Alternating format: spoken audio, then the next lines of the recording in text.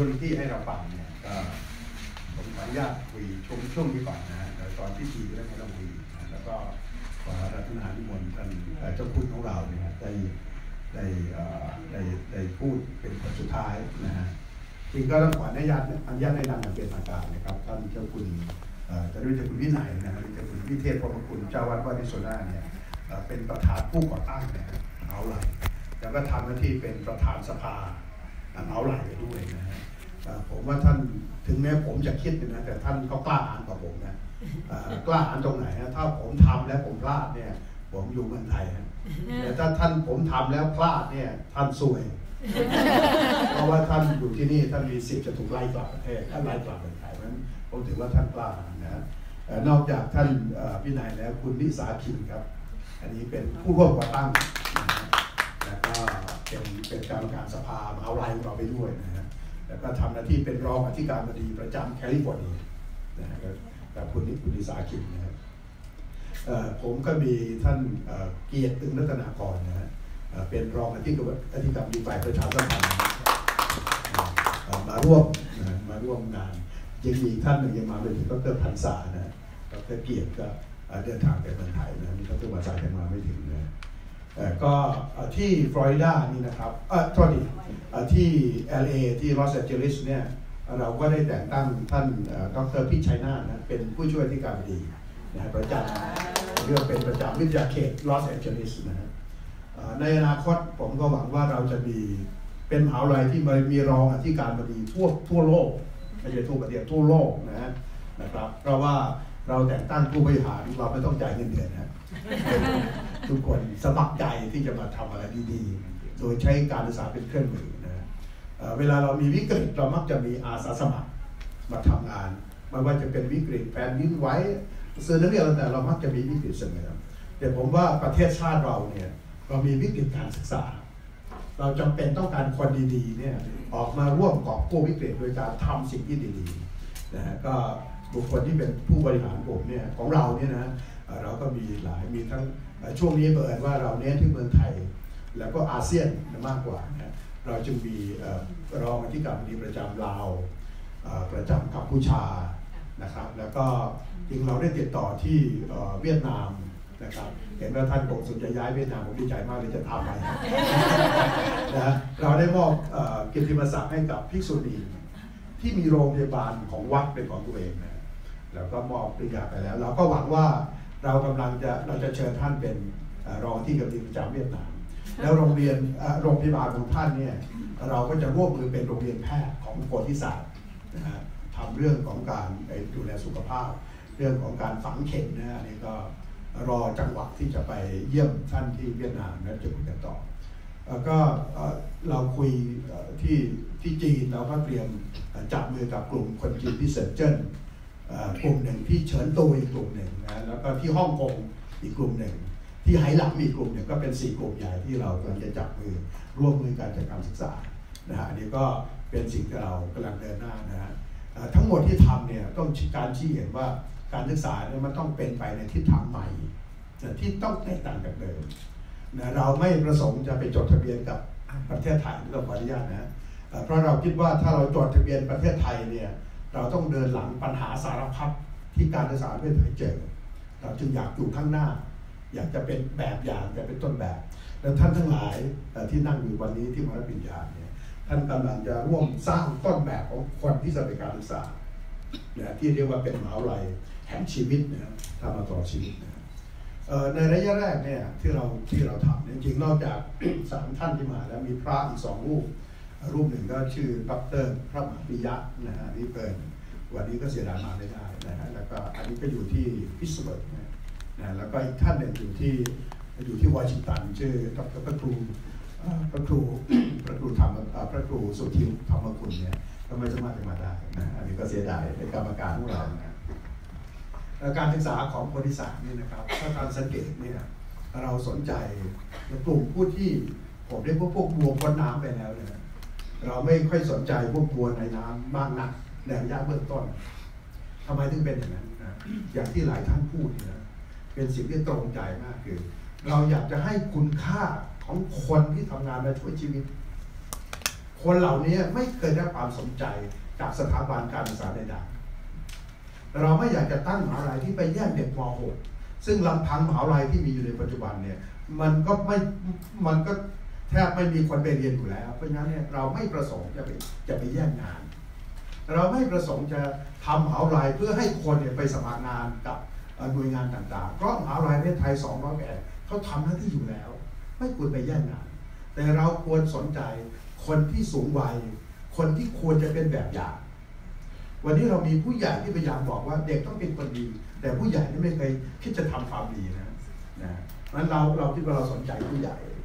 นะแต่สนใจผู้ใหญ่แล้วเนี่ยเราก็จะเมื่อไหร่ก็ตามที่เด็กมาเรียนเนี่ยเด็กมาเรียนอยากจะมาเรียนเนี่ยเรามีเรามีโจทย์เดียวครับ ลงมือทำนะอยากจะมาสอบจบแบบพวกเราไหมหนึ่งเทอมจบถ้าคุณคิดว่าคุณมีความสำเร็จในชีวิตคุณมาสอบได้เลยนะแต่ถ้าคุณคิดว่าคุณเพิ่งออกจากรั้วโรงเรียนเนี่ยลงมือทำแล้วท่านทั้งหลายที่จุนนั่งอยู่ตรงนี้หรือในในโลกเนี่ยที่เป็นบัณฑิตของเราเนี่ย อันนั้นคือคนที่เป็นต้นแบบเป็น consult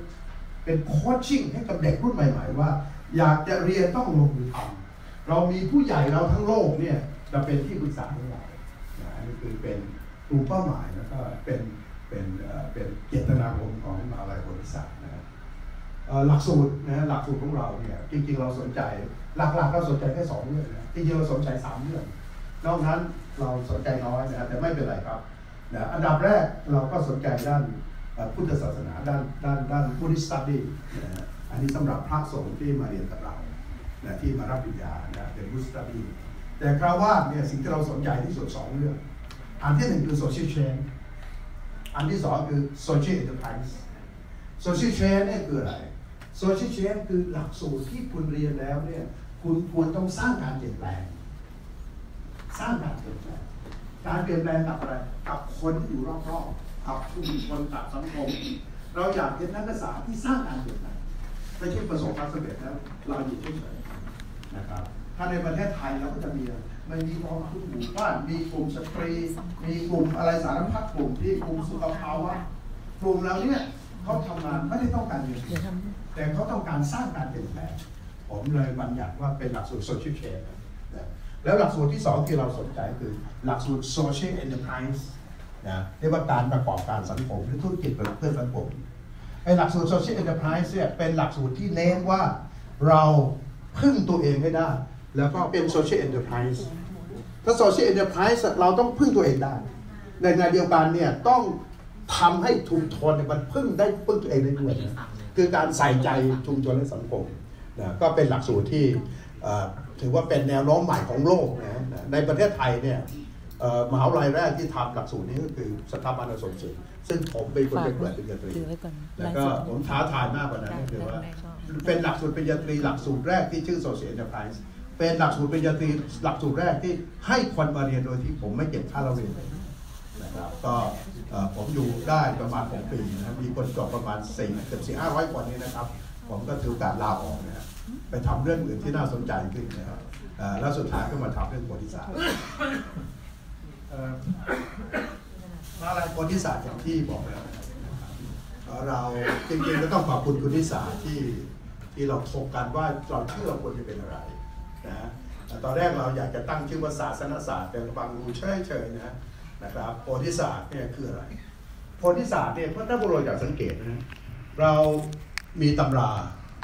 ตำราเนี่ยมีบางคนบอกว่ามันเพียงแค่ปุ๋ย ปุ๋ยคือสิ่งที่มันจะบำรุงให้ต้นไม้มันเติบโตนะฮะวิทยาการต่างๆ มันแค่ปุ๋ยครับเราจะสังเกตว่าคนจำนวนอย่างนี้ตำราเนี่ยกลายเป็นสิ่งศักดิ์สิทธิ์คิดว่าตัวเองเนี่ยเป็นคนรู้ทั้งหมดพูดทุกเรื่องนั่นแปลว่าตำราเป็นสิ่งศักดิ์สิทธิ์คุณมีความรู้มากกว่าดูจะยิ่งใหญ่กว่า แต่สำหรับเราตำราคือปุ๋ยที่จะทำให้มนุษย์มันเติบโตมันได้เจริญรุ่งเรืองแปลว่าเราต้องก้าวข้ามตำรานะอุณาโรมที่เป็นตาที่สามของพระพุทธเจ้าคือการมองเห็นในสิ่งที่คนอื่นมองไม่เห็นทำไมเราจำนวนหนึ่งอยู่มานั่งอยู่ตรงนี้ แล้วคนจำนวนมากนี่ไม่มาก็แปลว่าเราต้องเห็นอะไรบางอย่าง ที่คนทั่วไปก็มองไม่เห็น นั่นเรียกว่าเป็นตาที่สามตาแห่งวิสัยทัศน์ ตาแห่งการก้าวข้าม ก้าวข้ามความยากลำบาก ก้าวข้ามอุปสรรคของการอะไรนั่งรถก้าวข้ามสามีก้าวข้ามภรรยามีภรรยาก้าวข้ามงานก้าวข้ามงานที่คุณทำประจำวันเนี่ยมาสู่ความเป็นโพธิสัตว์โพธิคือการบรรลุการตรัสรู้การก้าวข้ามนะศาสตร์แห่งการก้าวข้ามนะมีบางคนพูด น่าสนใจมากกว่านั้น เราจำเป็นต้องบรรลุโพธิสัตว์บรรลุโพธิสัตว์แปลว่าคุณต้องเห็นอะไรบางอย่าง ซึ่งคนทั่วไปมองไม่เหมือนคุณ มันท่านทั้งหลายที่นั่งอยู่เนี่ยก็ต้องถือว่าเราได้พยายามที่จะก้าวข้ามนะโพธิสัตว์เนี่ยเราใช้ว่า co-learning space co-learning space พื้นที่แห่งการเรียนรู้ร่วมกัน uh, for spiritual uh, for cultivating spirituality นะ เพื่อการบ่งเพาะทางจิตวิญญาณซึ่งเป็นความเชี่ยวชาญของดรเปโตรนะนะทำไมเราใช้คำว่า co-learning space เราไม่อยากจะเป็นอะไรนะศูนย์กลางแห่งทุกสิ่งทุกอย่าง เราไม่อยากจะยิ่งใหญ่ แต่เราอยากจะให้ทุกคนเนี่ยทุกหน่วยงานทุกองค์กรเนี่ยคนได้มีโอกาสได้ทำร่วมกันกับเรา คุณได้มีการทำงานร่วมกันกับเรานะนะครับ คุณไม่ใช่ไม่ใช่มาทำงานในฐานะที่เป็นลูกจ้างแต่ไม่ใช่เป็นหน่วยงานในสังกัด แต่คุณคือคุณในประเทศไทยตอนนี้เนี่ยนะทุกๆวันเนี่ยผมจะรับโทรศัพท์จากคนจำนวนบอกว่า อาจารย์ครับ ผมอยากจะตั้งเป็น learning center ผมอยากจะตั้งเป็น institute ผมอยากจะตั้งเป็นมหาวิทยาลัย แล้วขอมาโคโค learning space ขอมาคู่กัน แปลว่า แปลว่า แปลว่าเขามาจับมือกับเรา เพื่อที่เขาอยากจะทำอะไรดีๆ แต่ทำแล้วนี่นะเขามารับปริญญาจากเรา ผมอยากจะเห็นโพธิศาสตร์เนี่ยคือกรมขนส่งทางบก ที่ไม่ได้ไปตรวจสภาพรถยนต์แต่ใช้ตรอทำแทนทั้งหมดถูกต้องไหมใช้ตรอทำแทนนี่นะนะครับ เพื่ออะไรบริษัทไม่ต้องทำมีคนดีๆอยากจะทำเยอะ อยากจะทำเยอะ เรามอบมอบสิทธิ์ให้เขาไปทำมอบโอกาสให้เขาไปทำพอก็ทำแล้วนี่นะ เราแค่ดูมาตรฐาน ดูมาตรฐาน แล้วเขาก็มารับปริญญาจากเรา ซึ่งวิธีการนี้นะฮะนอกจากมันเป็นวิธีการใหม่ล่าสุด ที่กระทรวงศึกษาธิการไปไปถึงแล้วนี่นะผมว่าสิ่งที่พิเศษมากขึ้นคือว่า เราได้มีเพื่อนทั้งโลก เพื่อนทั้งโลกที่อยากจะจัดการศึกษาดีๆแต่ไม่อยากจะไปจดทะเบียนทั้งมหาวิทยาลัยใช่ไหมยิ่งในประเทศไทยเนี่ยยิ่งในประเทศไทยเนี่ยนะถ้ามหาวิทยาลัยโพธิศาสตร์ไปสอนเปิดสอนในประเทศไทยเนี่ยนะครับ ถูกตำรวจจับแน่นอนนะเพราะก็ถือว่าผิดพระราชบัญญัติอุดมศึกษา ไปเปิดสอนในประเทศไทยโดยไม่ขออนุญาตเพราะโพธิศาสตร์ไม่เปิดสอนครับ แต่เพื่อนของเราทั้งประเทศเป็นคนเปิดสอน เขาไม่ได้สอนปริญญา แต่ก็สอนให้คนทำวิจัยเป็น เขาสอนให้คนทำมาหากินเป็นนะสอนให้ทำวิจัยเป็นสอนให้สอนให้ทำมาหากินเป็น เมื่อไหร่ก็ตามที่คุณเป็นรับปริญญาจากบริษัทคุณส่งชื่อมาที่อเมริกา จะไปที่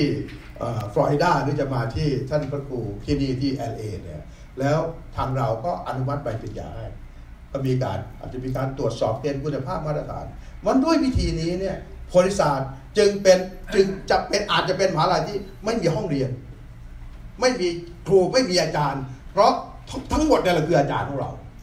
ใช่ไหมทุกคนเนี่ยเราคืออาจารย์ของเราแต่เราไม่มีอาจารย์หรือจะว่าจะว่ามีทุกคนก็ได้ใช่ไหม แล้วในประเทศไทยเนี่ยเราก็ตอนนี้ก็มีประมาณ 40-50 แห่งที่มาขอเป็น co-learning space กับโพธิศาสตร์นะฮะสอนเรื่องวิจัยพอคุณทำวิจัยเสร็จ คุณทำวิจัยเสร็จเนี่ยคุณก็มาขอรับปริญญา คุณก็มาขอรับปริญญานะมวยสารไม่ต้องไปสอนนะเพื่อนเพื่อนเราสอนนะครับการเรียนของโพธิศาสตร์เนี่ยเราแบ่งเป็นสองกลุ่มนะครับกลุ่มที่พ้นน้ำเนี่ยนะกลุ่มที่พ้นน้ำเนี่ยหรือกลุ่มที่ก้าวข้ามไปแล้วเนี่ยนะ ผมถือว่าเราถือว่า คุณมีองค์ความรู้เพียงพอ คุณมีองค์ความรู้เพียงพอนะไม่ต้องมานั่งเรียนใหม่ เพราะคุณมันบรรลุไปแล้วอะไม่ต้องมาเริ่มต้นใหม่ที่ท่านพระอาจารย์สังคมหรือท่านเมื่อกี้ท่านใดพูดถึงว่าไม่จำเป็นวันท่านทั้งหลายเนี่ยที่ทำไมจบเร็วจริงๆเนี่ยท่านทั้งหลายที่ก้าวข้ามไปก้าวข้ามฟากไปแล้วฟากข้ามฟากแห่งปัญหาชีวิตฟากแห่งความต่อสู้ที่ท่านทำมาจนจบแล้ว มหาลัยโพธิศาสตร์ไม่ต้องให้ท่านนี่นะ ย้อนกลับมาว่ายน้ำใหม่เอ้ยมาว่ายน้ำใหม่สิผมจะสอน ผมเองยังไปไม่ถึงเลยนะแล้วจะสอนท่านว่ายน้ำได้ยังไงใช่ไหมโพธิศาสตร์สนใจว่าไอ้ความรู้อยู่ในตัวท่านนี่นะ ที่ท่านพูดมาทั้งหมดในความรู้ในตัวท่านเนี่ยมันเป็นสิ่งที่พิเศษมากการแก้ปัญหาชีวิตการก้าวข้ามเป็นสิ่งที่เป็น